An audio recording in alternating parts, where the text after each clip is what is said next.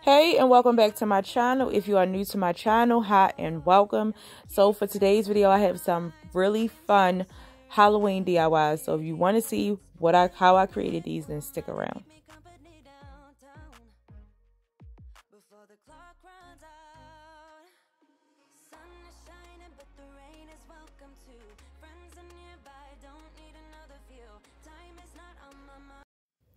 So for the first DIY, I'm taking some 8-inch sticks from the Dollar Tree to create a potion cabinet or apothecary cabinet.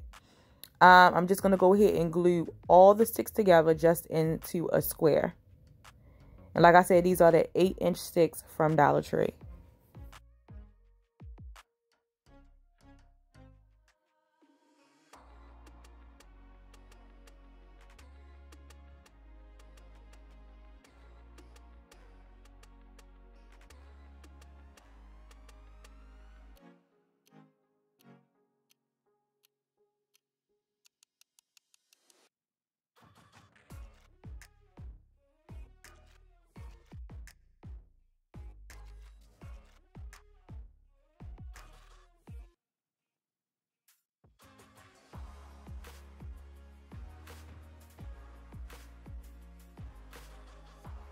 Then I wanted a shelf. So for the middle, I'm taking a 10 inch stick from the Dollar Tree. I'm going to mark where I want it cut and I'm going to cut it down with my little handsaw. Then I'm going to take the 12 inch flat sticks, lay them down and see, you know, where I want them to be cut. I'm going to take one, cut it, and then I'm going to cut all of them the same length and glue them to the back. And it's going to be like the back part of my box.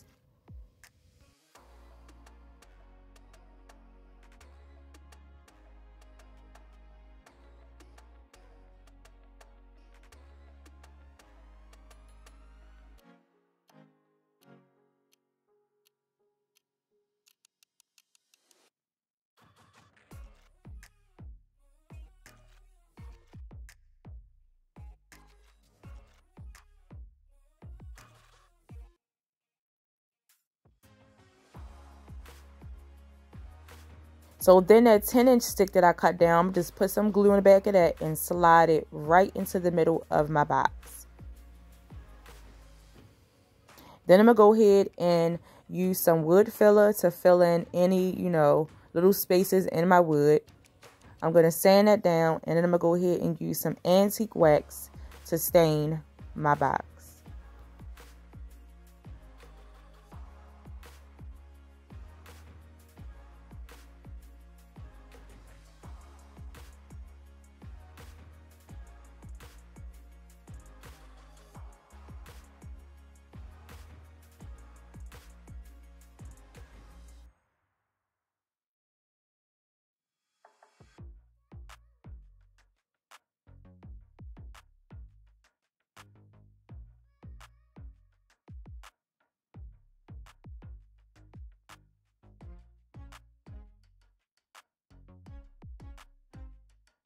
Once I get done staining my box, I let it dry.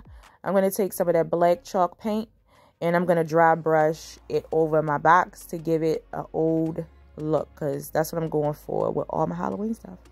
That rustic look.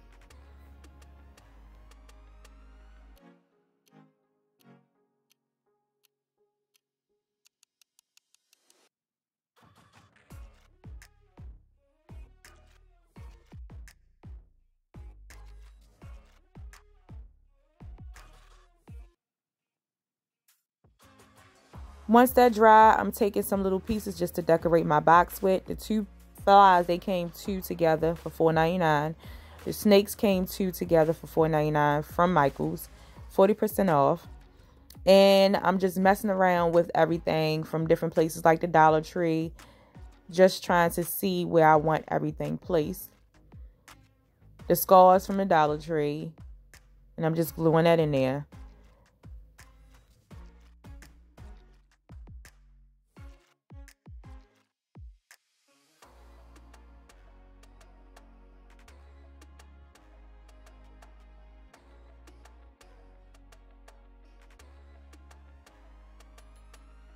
Once I got most of everything placed, I took this spider from Dollar Tree. I added some black chalk paint to it because it has so much glitter on it. And I'm gluing that down. And I'm going to glue this snake at the top.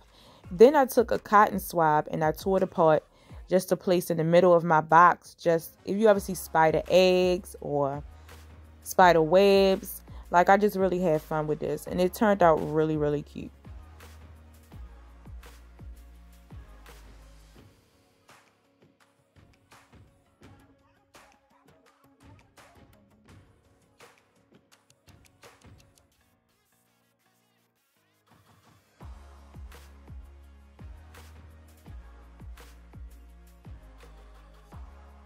For the next DIY, I took a scrap piece of wood I had for months and I wanted to create a little um, Halloween sign, like welcome home sign.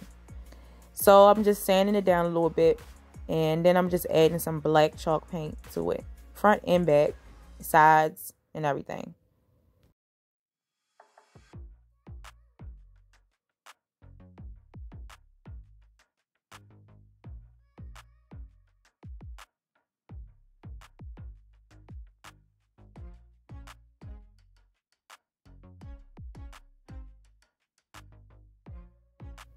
Next, I'm taking these wood letters. They come two in a pack for, I think, two ninety nine from Hobby Lobby that I didn't even know I still had, but I was happy that I had these.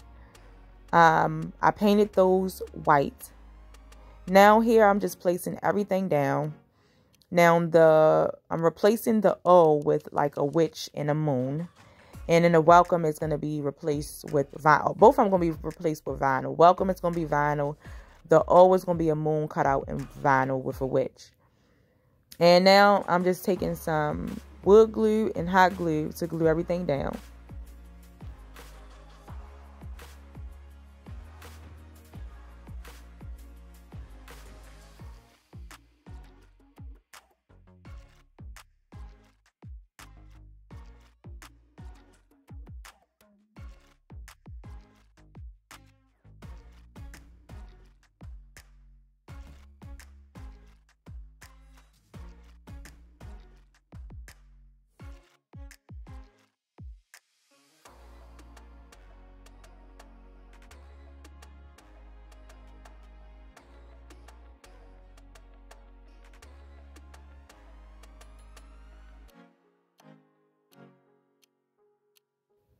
Now, you know it wouldn't be me if I did not distress everything. So I just take my sanding pad and I go over the sides. Then it's something that I do with my vinyl just to make it look like it's it's not vinyl and that is like a stencil. I take and I lightly distress over my vinyl with a lot of my signs that I make like right here. And I just take, I have like a wet paper towel, towel on the side and I'll just, you know, sand, then I'll wipe sand and I'll wipe. And you just want to be careful that you don't rip off any of the vinyl when you're doing that. So then I decided to create a bow. Now, I cannot give you step by step with this bow. You're just going to have to watch really hard because this was just a bow I came up with. But I thought it was really cute and whimsical. It was, it turned out really cute. So all of the ribbon I'm using is from the Dollar Tree. And just just keep looking. You, you'll see what I'm doing.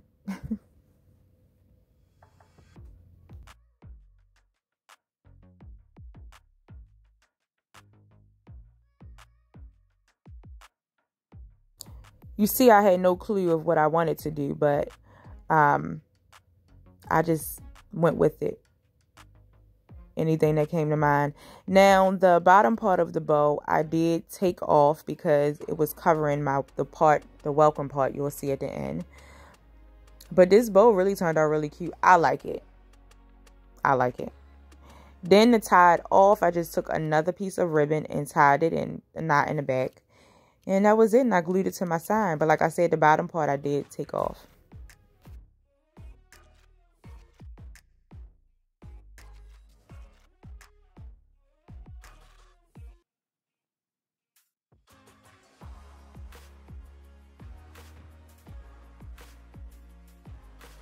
Let me know down below how do you like this bow it's really cute it's a simple bow that can be remade if you decide to make this sign.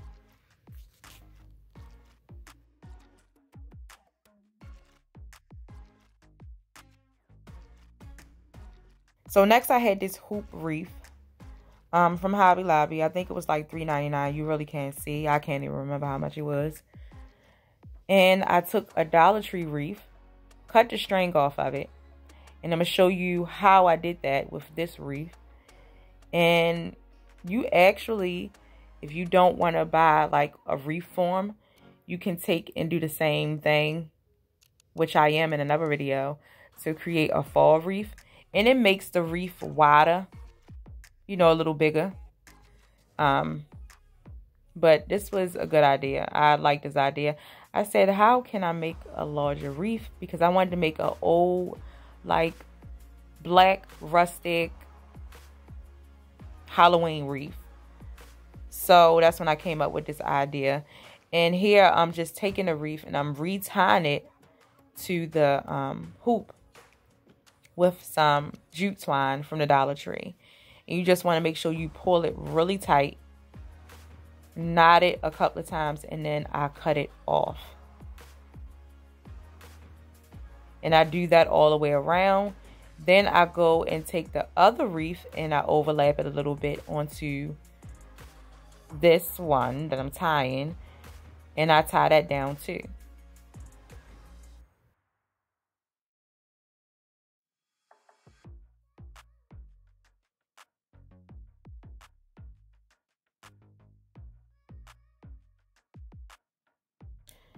So I wanted to come back on. So now when you, if you wanted to make this wreath, you do not have to use the hoop wreath to hold it. You can actually just build this wreath without that. So I took some spray paint, spray painted my wreath black.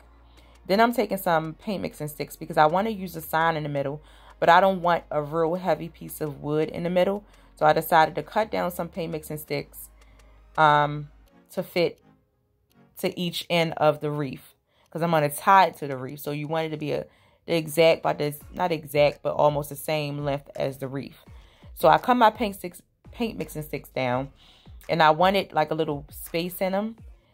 Then I cut two extra scrap pieces of paint mixing sticks down, down, and I'm just gluing it to the back of what would be my sign. And I'm just take some white chalk paint and paint my sign white. And then I do go over this with some black chalk paint too. To uh, once again make it look old because it is Halloween. So I wanted that old look to it.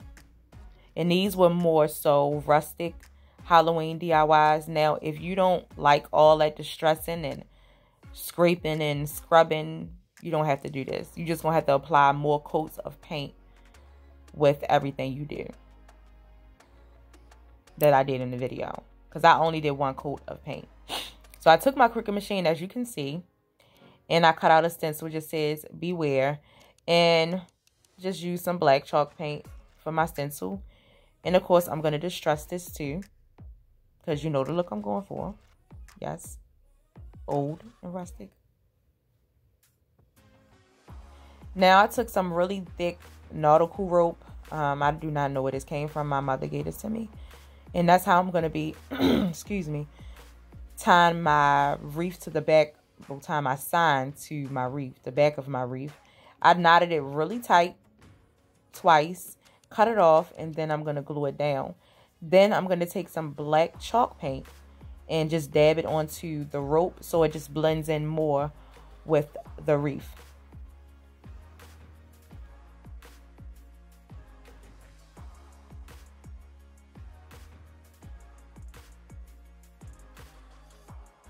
Then I got these picks while I was at Dollar Tree. The same day I got the little the the snake and the bugs. I got a bat pick and spider picks. Well, I got two bat picks and one spider pick from Michaels. They were $4.99 with that 40% off. So here I'm just messing around trying to see which ones I want to do. Um, I ended up going with the spiders. I don't know. I mean, now looking at it, I do like the way the bats look, but I end up going with the spiders. So before I glue down my spiders, I wanted to take some more black chalk paint over my um, sign. And then I just glue my spiders down just using some hot glue.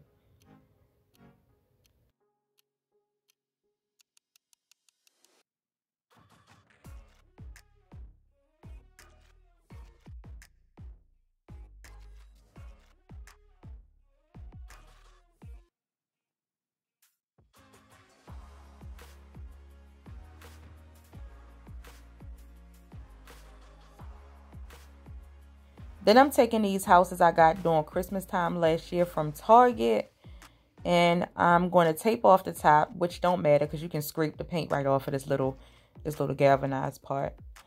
And I'm going to paint one white, one black, and one with the pumpkin color chalk. Well, no, it was orange paint I got from um, the Dollar Tree, which actually works really good because I ran out of the pumpkin color chalk paint from Waverly and I can't find it anywhere. But this paint did work good. Now for the orange paint, I had to do two coats from it since it is from the Dollar Tree.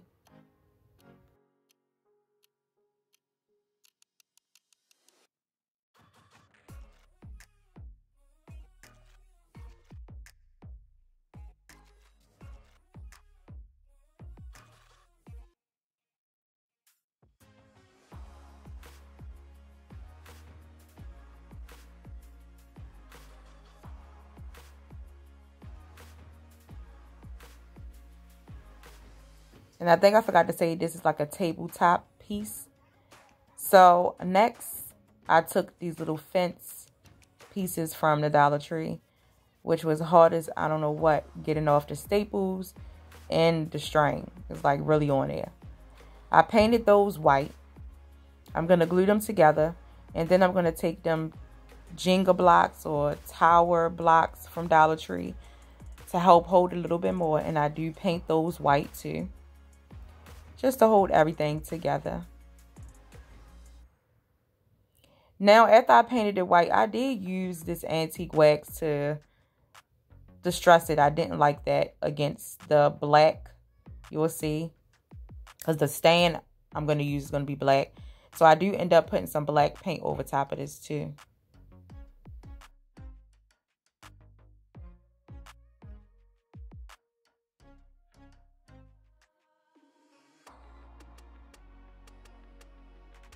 So I take another piece of scrap wood and I did not have to cut this down at all. It was perfect. It fit the fence.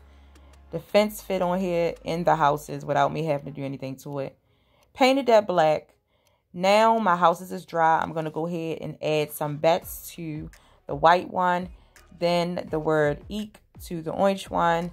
And then I think I put 31, 30, 31 onto the black house. And I cut this all out with my Cricut machine, of course.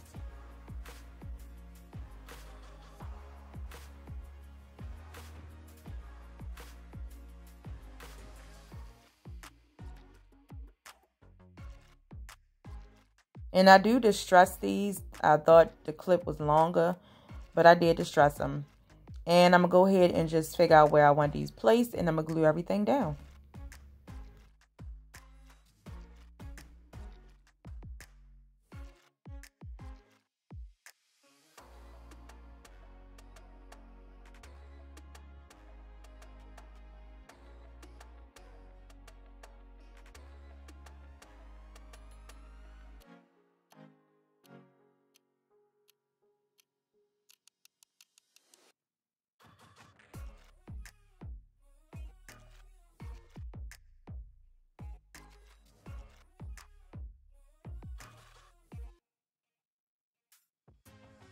So once everything is glued down, I do decorate this with um, a couple of different pieces. So I use the pack of pumpkins from Hobby Lobby that I did in my haul. I painted them with some black chalk paint. I'm going to glue them down with hot glue. Then I take a rat. I actually got two uh, gray one and a black one. It came from like the Goodwill. Now I take a nail and I nail it through the rat into the wood house because the rat was not staying glued. And I went over with some black chalk paint and you can't even tell it was a nail. Now for the two skulls, what I did is I glued the bottom skull, but the top skull would not stay on. So I took an extra long nail, nailed it through the top part of the second skull into the second skull on the bottom into the wood, if that makes sense. Then I added some black chalk paint onto the skull, and you can't even see the nail going through the skull's head. And that was it for this um, DIY. So that was it for these DIYs. Let me know down below which DIY was your favorite. If you're new to my channel and you like these type of videos, make sure you hit the subscribe button so you will not miss out on any videos I upload in the future. And also, make sure to give this video a thumbs up if you like what you're seeing. Have a good day and bye-bye.